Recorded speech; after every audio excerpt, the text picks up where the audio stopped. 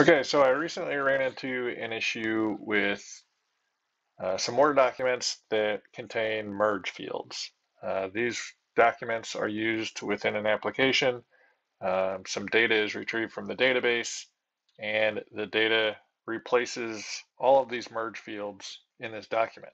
This particular document, uh, because it has these two text boxes, caused some issues. Uh, this document was originally created in uh, Microsoft Word 2007 or possibly earlier. And the way that merge fields were handled or were saved um, during that time changed in Word 2010. All of these merge fields are saved as a simple field and starting in, in Word 2010, they were started being saved as a field character and there was a, a begin and an end tag. And the code that I've got in uh, my application uses the older style simple characters. Uh, there is a mechanism in there that will go through and it'll change the new field char types to a simple field. Uh, but because of these text boxes in here, it was causing some issues and I was completely losing these text boxes. So um, if you have a situation where you need to edit a Word document, kind of do it behind the scenes, uh, XML level behind the scenes, so you can determine exactly what format things are going in, uh, this is how you do it. So uh, just to show you the difference between these two files. So this is the original file and the program wanted a, new merge field here.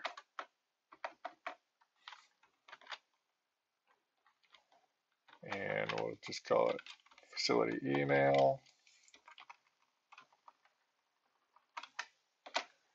And then to make a, a formula field or some some other field, uh, you hit Control F9 and it'll wrap it in these curly braces. So I need to right click on this, edit the field and set the type. And I want this to be a merge field.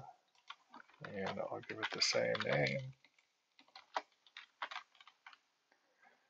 And I'll click this checkbox just to pre preserve formatting. So now we've got this new merge field in here. So, so it doesn't overwrite my old format, original layout. I'm going to save this as and just put it in my demo here. And I'm just going to call it dash new.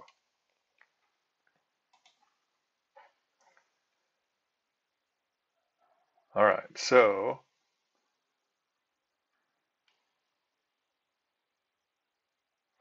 this is our new file. It's got the email in there. So if we look at our original file, we can see there's no email between telephone and contact.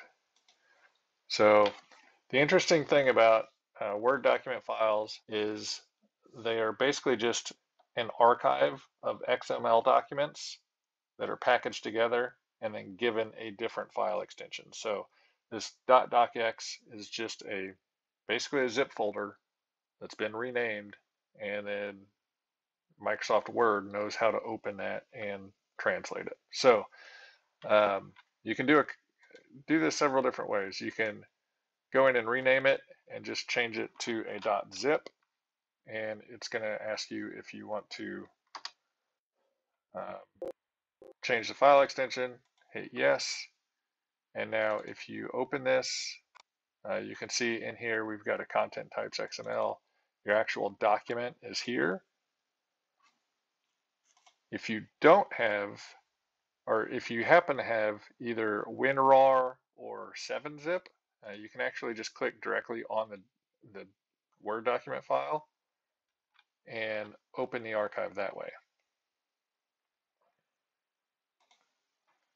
And you can see it's the same thing. This is the new one. And we had this fold, this zip folder that was the old document. So uh, let me show you the difference between these two. So I'm going to drill down into here. And this is the new file. And I'm just going to call this new. See if it'll let me change it. And then I'll open that. And so this is the, what the XML looks like for a Word document. So you can see we've got different fields. Like this is the actual document node. And then here we open the body node and then WPs are paragraphs.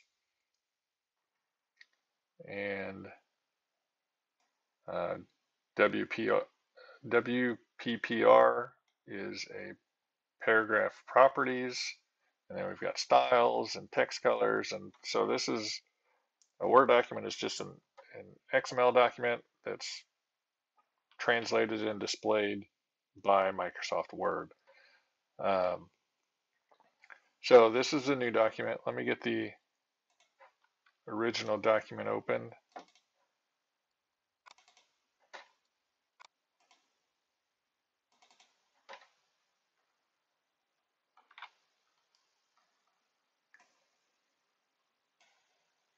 And so you can see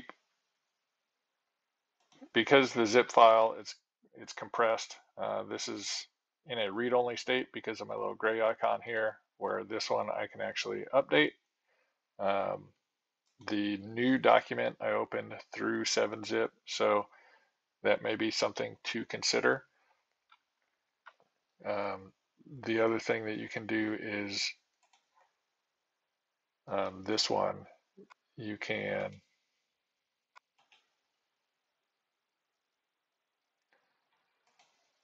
extract it and I'll just put it in the same folder. And so from the extracted folder, if I open this, uh, you can see this one has blue, so I can actually edit this one. So um, so if we compare these two, and I know this is kind of difficult to look at you know, if you have a document that isn't have any sensitive information in it, you can go to something like uh, Code Beautify and actually beautify that so it steps it out in kind of the tree format and that's a lot easier to read. Comparing, we know that we added our new field after the facility phone and before the contact.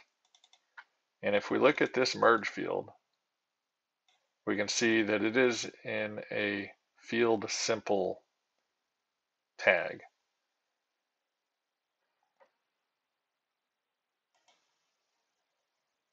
And we can see the same thing here.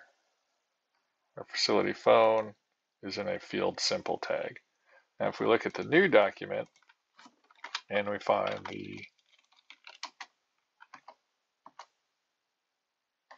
facility phone, we can see since we saved it, now in a newer version of Microsoft Word, our merge field is actually within an in-string text tag that's within a run tag that's within a field char tag. Um, because of this new layout that that the newer version of Word uses, um, the edits that I was making to the document was causing issues when it was trying to populate those those fields within the application. So um, what I ended up doing is I know that this facility phone is you know basically the same exact thing that I need. Um, it starts with the telephone header and if we just go up to before that there should be a paragraph tag and here we go. So I just copied the entire paragraph. So I copied that entire paragraph tag and I pasted it right after itself. And then I know I need to just change this to email. And I need to change my merge field to facility email and my little display tag to facility email. And then I can just save that. And now the original I had extracted. And we can see that 1049, 1049 is when it was last modified. So now we can basically just select everything within this folder and send to a compressed zip folder. So I'm just going to name this uh, new file. And then I'm going to go ahead and change it to .docx. And yes, I want to change the extension. And so we can see it's all packaged up into a new file that should now have our new email field based on the original layout of the original file. So we'll go ahead and open that up. And there we can see it. We, we've got email and facility email. Now you'll notice that this isn't spaced correctly. And that's because these are actually tab fields. And we just needed one additional tab field on the email. So again, that's that's a quick change from here. Um, we actually still have it open, but we could reopen, find our facility email, and you can see here's a tab. Uh, these tabs are actually enclosed in a run field. And just because we're in Notepad++, Plus we select that and it shows us where the beginning is. And so we basically just copy and paste another one of those in there. We'll save it. Go back, select everything except for our new document. And we'll send that to a zipped folder. We'll name this file 2 dot docx and get rid of the zip extension on there. And now if we open file 2, we can see we've got the email and correct spacing. Go ahead and turn those off. And now we've got, we maintained our original format um, that was saved in the older version of Microsoft Word. Now when I load this in and use it in the application, everything works as it should. I keep my text boxes. Um, everything works as it's supposed to. So if you need to modify just a, a small piece of a Word document and you don't want to change the formatting or anything of the existing document, uh, this is the way you can do it kind of behind the scenes. Uh, and it's it's a pretty straightforward process. The hardest part is you know sifting through the XML, finding the correct tags that you need uh, because the XML syntax does need to be correct. Otherwise, it won't open.